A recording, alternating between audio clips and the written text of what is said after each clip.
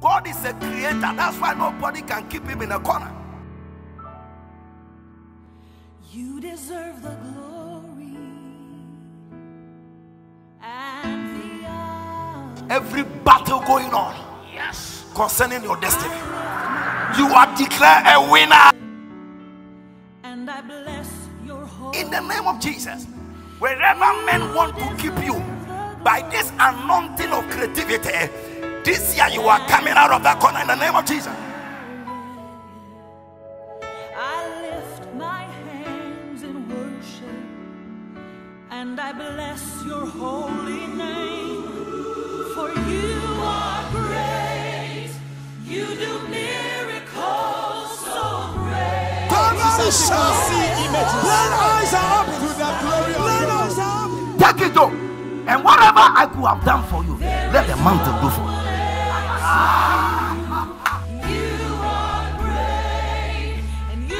Good morning, Ghana. Good morning, everybody, ladies and gentlemen. We are happy to come to your houses and your hotels and wherever you are watching us today. Some of us are watching us outside Ghana. God bless you for tuning in, and I know that your life and destiny will never be the same. We are reaching you from Holy Hill Chapel Assemblies of God. My name is Kwadwo Boateng Bempah, and I know this morning there is a miracle that is about to hit your life, and your life and destiny will never be the same. In life, people go through different situations. It can be financial, it can be mental, it can be relationship, it can be in ministry. But I want you to know that with God, all things are possible. In the scripture, Acts chapter 4, from 29 going, the disciples came to a place where they had a very challenging opposition. But look at the prayer that they prayed. They prayed and they said, Now, O Lord, Acts chapter 4, verse 29, behold their threatenings and grant unto thy servant that with all boldness that they may speak thy word.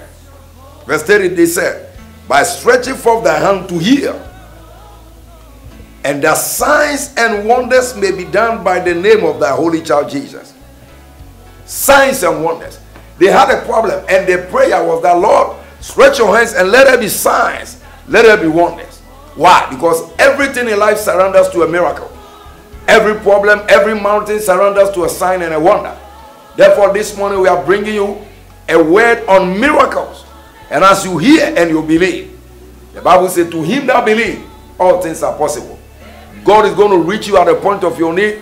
We here are enjoying the miraculous, and so many mighty miracles are happening. The sick are being healed. God is disgracing poverty every day. So many kinds of miracles are happening. Students breaking through any kind of miracle. I don't know what you need, but I want you to know that this morning, if you hear the word and you believe it, your life and destiny will never be the same. Receive a miracle this morning as you hear a word on divine intervention, on miracles, and on signs and wonders. I will come back and I'm going to pray for you. And today we have a very powerful testimony on this segment. Watch out. Because testimonies are arrows of faith. As you hear, God is going to touch you at the point of your need. God bless you. Let's listen to God's word. I'm going to come back and pray for you.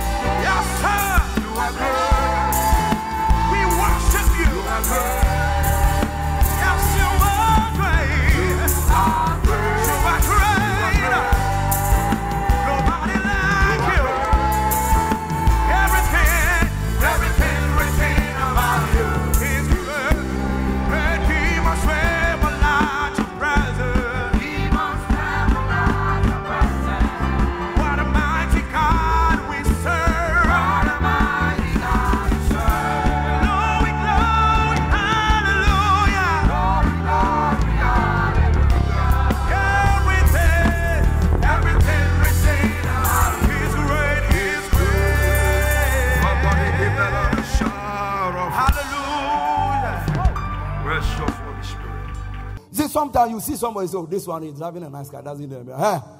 You may never know. You may never know. You may never know. Most of the time in the church, those that look very executive, Charlie. Problems are doku omo basa sa to ko. Wo wo show money man wo ho won timi preach. Tie preach aye call. Me aba ne say. Yeah. When I get close, I can sense you. I can just.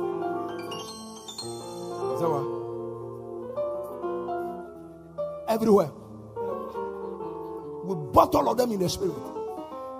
Brother, you have heard me talking like this. Then we collected one. We have collected two. Don't doubt this one. By the mouth of two or three witnesses, the truth is what? Established. Oh, so, because Jesus is coming like locomotive. Listen, all of us don't live near here. We are very far away. Jesus is building a new city in Circle. Travel. Travel. Yeah, ga, ga, ga, ga, ga, ga, ga, ga, ga. Tell to somebody, expect a miracle today. Now, here, don't postpone your miracle. Miracle is in the now. Expect your miracle today. Expect your miracle today. Expect your miracle today. Expect your miracle today. Expect. When I go to New York Airport, eh, they, they are doing some changes. I don't even know where I was going to, whether I would take train or to, to get my next flight. Time will come. Holy Ghost, you brought me here. Hey, one elderly man, American man, he showed up. Hey, man, need something? I said, man, I need many things, man. He's 62 years old. He's holding the thing that they push, trawler. But you need five dollars. When I even got it, they increased it to six dollars to put it before you draw. The man came with a trawler. He said, Stand here, don't go anywhere. I'll take you to wherever you are going. My God. I packed my things on it. I thought maybe the man is doing some things. I'm getting, man, I'm gonna say, don't move anywhere. I'm gonna show you where it is. I One minute. One, two, three, he came. Please listen to the most surprise. I thought that the man is going to do that so he will charge me.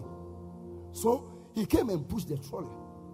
And when we were going, he was talking, he was talking, he was talking, he was talking. He said, I'm 60 something years old, something, something, something. Push. And then whilst we were going, everybody that landed at the airport, the man is showing them direction.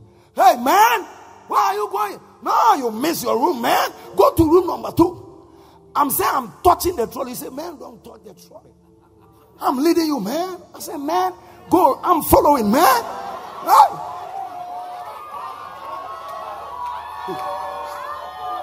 Listen, miracles are real. Miracles are real. Listen, he took me, we joined one train. We stop, we join another one. White people are getting lost. White people, their own airport, they are getting lost. The man will show them, he will show them, he show them. He carried me. When we go to the check-in, he said, I'm going to check you in. Stay here. He pushed the distance, spoke American English, check me in. When, when he finished, I was going to say, man, how much, man? Before I could say that, he wrote his telephone number on paper. I'm going to marry you some other time. God bless you. The man has been with me for 45 minutes. I said, No, I won't let this angel go. He said, Man, you don't have to pay me, man, nothing, man. I said, Man, I have to bless you, man. I was surprised. So I, I, I gave him $20. So I'm going to catch you another time. Why am I sharing this testimony? Some of you have got into a crossroad. You don't know where to turn. They say, I don't know anybody in that airport. I'm telling you. But see, I'm in terminal 4. I'm going to terminal 8. I look on the paper, I can't find where the terminal is. I say, why people are getting lost? Some five ladies, they went, sa na biribi ɛnte sɛ ghana na ɛsɛ kɔsi mpɔmpɔnua plane bɛtuo wobɛ you will die in the airport. The man carried me. I didn't pay for anything. Like 45 minutes he was with me. When he finished he said man i got see you. At another you will see angel in a human form.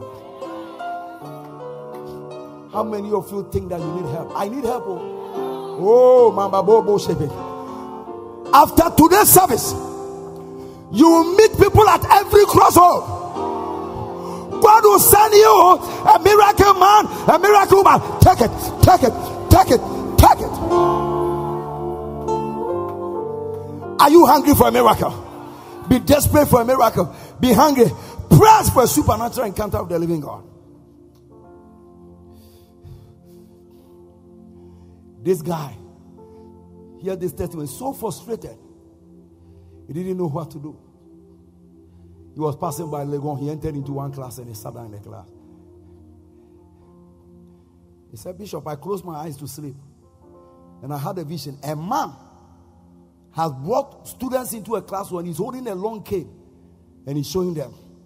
And there was a boy in our class called Christian. I saw him in the vision. The man said, Christian, you have four years to travel around the world. Then he turned to this guy who is a pastor and he said, Don't do anything. In 10 years' time, I will prepare you and show you to the world. Ah. You, you point the cane at you and give you some years. The guy wake up, he never understood the vision. How many of you heard the thing that killed people at Mekong? That Christian guy was inside the shop. The day that the Mekong killed them was the fourth year after that vision. He was a very strong, he died as a martyr.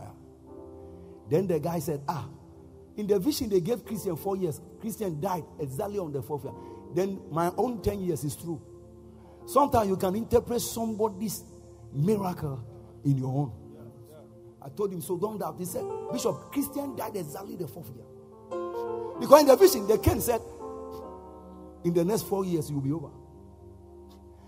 I'm believing God for encounters for people. Some of you in your car, you are going to have an encounter. Some of you today, whilst the service is going on, whilst the service is going on, you are going to have an encounter. How many of you say, I expect my miracle today? Wave your hands. Nothing is impossible. Oh, come on. Sing the song, chorus. I expect a miracle today.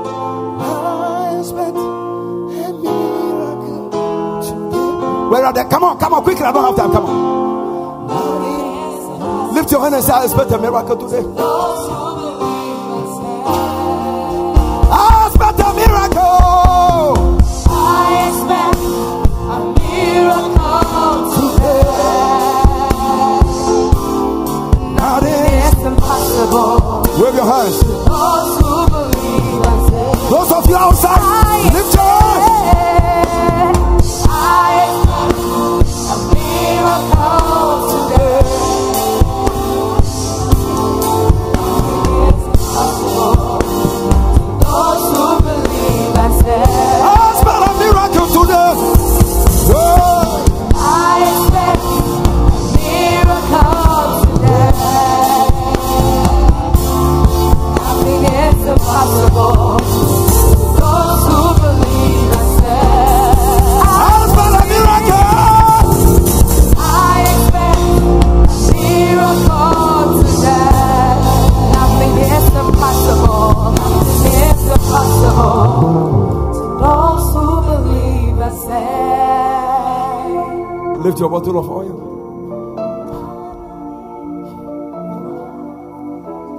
look at your watch.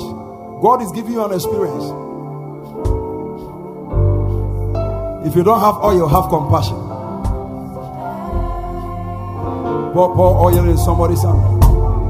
I expect a miracle today. Pour oil in somebody's hand. Nothing is impossible. If you have oil, move around and bless somebody. Just a little in your right palm. Just a little in your right palm. God's word is still the same. Sing on, sing on, sing on, sing. Oh, I expect, a miracle. Just a point of contact. Do you expect? A miracle today. Lift, lift the oil in your hands.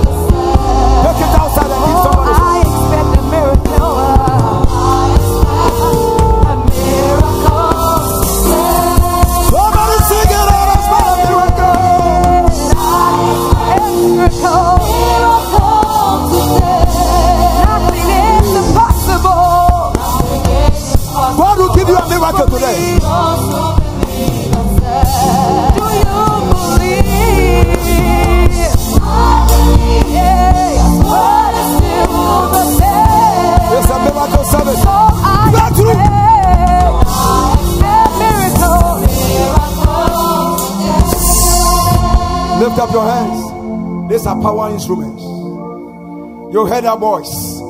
My mother, they wanted to make my mother a cripple. The mother doesn't come to church.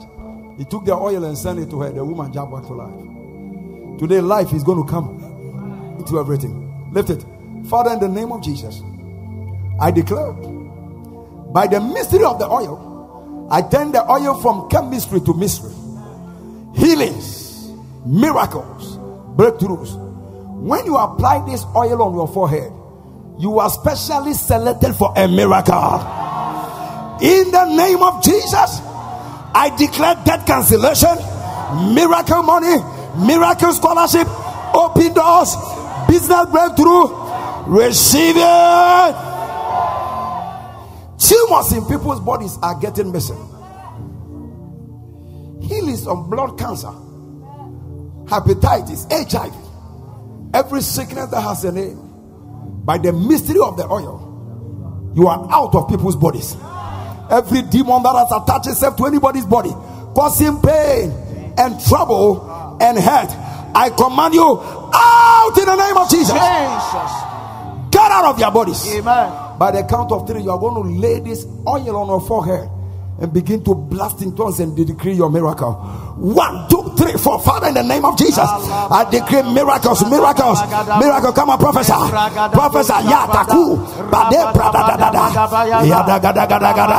Receive your miracle. Receive it. Receive it. Receive it. Receive it. Receive it. Receive it. Receive it. Receive it. Take it now. Now, something is breaking forth. Something is busting forth. Something is breaking forth. Something is busting forth.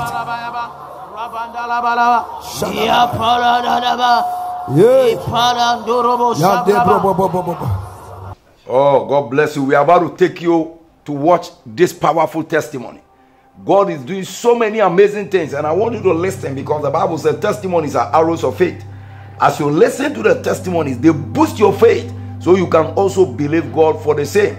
Watch this testimony of what the Lord has done in the lives of people, for I'm sure He's going to do the same thing in your life. God bless you.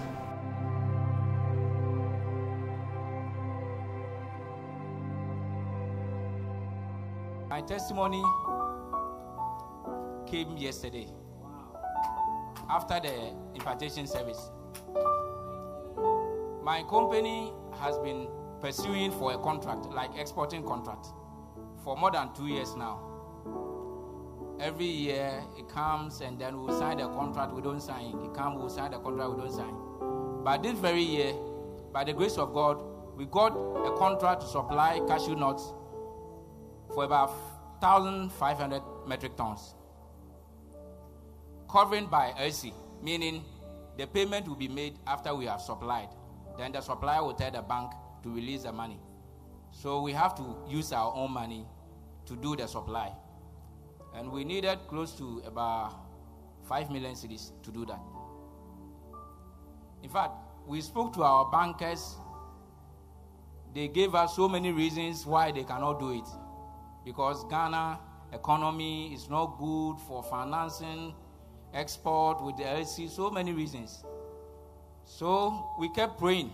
We told Daddy, Daddy always used to pray with me, Chairman, and Minister Cosmos, because we are leading the company.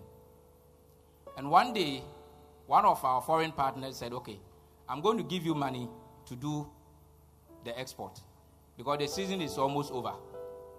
So the partner sent us money to start buying.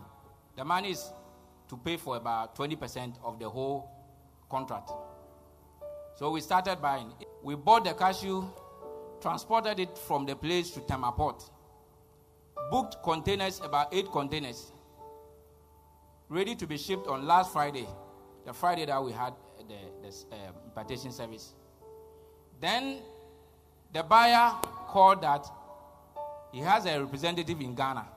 He wants the representative to do a test to see if it will meet the requirement before we ship the goods. And we said, okay. So the representative came. And then we went to the port. The goods were already stuffed in the container. So we had to retrieve some of them. And then they did a test. The first container they did, in fact, they changed their, their face. They started complaining at the port. This is not the quality that we agreed upon. And then they rejected the whole thing instantly. Unfortunately for us, there were some other people who were also shipping um, the, The same, same cashew. So they went there, took samples of their own, and then compared to our own. And in fact, you can realize that there's difference. Our own is dirty, substandard. Let me use that word. So instantly they rejected, and then they even left me at the port without knowing what to do. They are staying in my house. So I came home asking them, What are we going to do, even if we have to reduce the price? They said, No, they cannot do that because there's a quality that we have to ship. Other than that, when even the thing even gets there, they can't even take it from the port. In fact, for more than a week, I've been out of myself. because of that, I couldn't even come for last Tuesday's uh, service. I don't know what happened. Daddy will always send me a message asking me, Malam, he calls me Malam. Is everything okay? But we all know Daddy, he will never ask you that question because he already knows that everything is okay with you. So he won't ask you. But he kept sending me messages. Then I will tell my wife, Daddy is asking me this, and I don't know what to say. And I don't want to say that, Daddy, there's something wrong because that is not the teachings that he's been giving us. So when he sends, I will reply, Yes, Daddy, by the grace of God, everything is okay. But within me, I know everything is not okay. So what happened? And then on, I think Wednesday, around 2:28, Daddy sent me a, a message again. Malam, is everything okay? What about Vida and the kids? Then I started crying because we have already bought more than one million cedis worth of cashew. And where are we going to send this? In fact, we, we, we, we, we had to retrieve the whole goods from the container, find a warehouse at Tema, and then put them. Try to see if we can get another buyer. We called about two people who are also buying cashew. They took samples and they never called us back. So I decided to tell daddy that daddy, everything is not all right. When we came to the service, daddy kept declaring that no contract is going to be abrogated. And I said, This is my portion. And again, daddy called everybody and laid hand on us. So I decided that I won't go and see daddy again. By faith, I know something has happened. Yesterday morning, these people are staying in my house. Yesterday morning, early morning, they called me that Adams, the buyer is in Togo and he want to go back to China through Ghana and he want to see us. So if we can go and meet him, then I told them that no, I have a program with daddy. We are going to preach somewhere. So I can't go. But you go, whatever happens, when you come home, tell me. At exactly 12:30, I was with Minister Alex. After we came from the, from the program, we were going home, and then these guys called me. Adams, where are you? The buyer says that he want to see the cashew. So can we go and see it at Tema? And I said, no problem, we can go. When we went, I was not having the key. The key was with my agent because he booked the warehouse for me. I called him. He came. We opened the warehouse. The buyer came with his wife. Immediately they took sample like in their hands. They said, ah, why are you saying you can't shape this? In fact, they said it in Chinese language. So I didn't understand. And then one of the representative translated it to me in English, saying that they are asking that why can't we ship this? And I was just there. And they said, Oh, can you ship it within five days? I said, Why not? We can do that. We can ship it within five days. And he asked me, Why is it that Ghana, the bank, cannot give me that money? Okay, Tuesday, I'll go with you to the bank. And then I'll give 50% of the total worth. In fact, I nearly collapsed at a warehouse.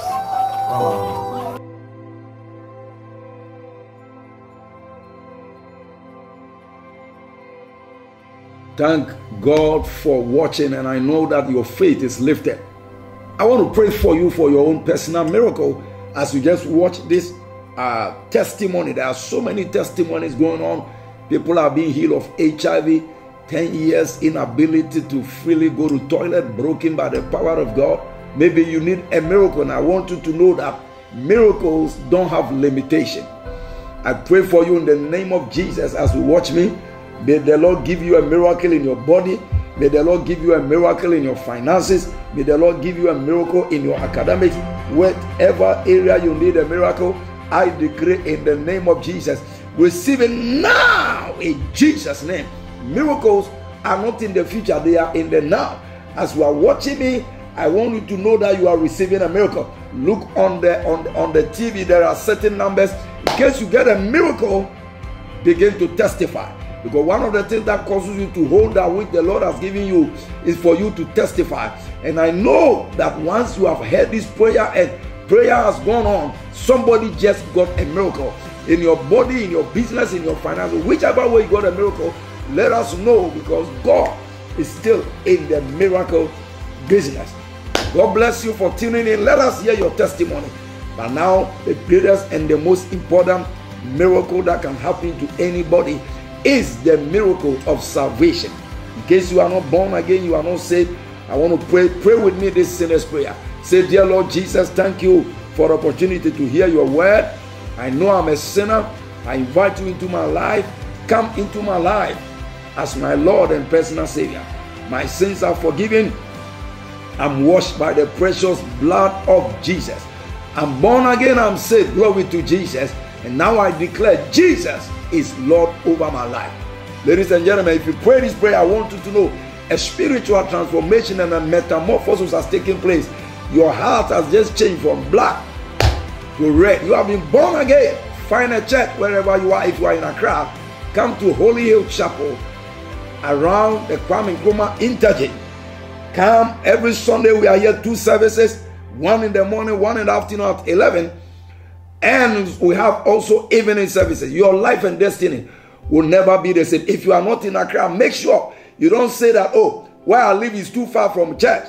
I want you to know that many of you drive kilometers and miles to go to work to look for money. But this one has to do with your soul. And your soul is more important than money. Jesus said, What shall it profit a man if he gains the whole world and loses his soul? Work on your soul because the day is going to come, this your body will drop and it cannot take you to heaven. But your soul will stand before God. So work on your soul. It doesn't matter how long where you live. Make sure you find yourself in church this Sunday, and your life and destiny will never be the same. We'll come to you same time next week, and we know that by the time we see you again, you will have a miracle. God bless you. See you same time next week. Amen. Are you ready to dine? Bring your troubles to the Lord's table and see Him take them away. See. But can you see now? the glory of God.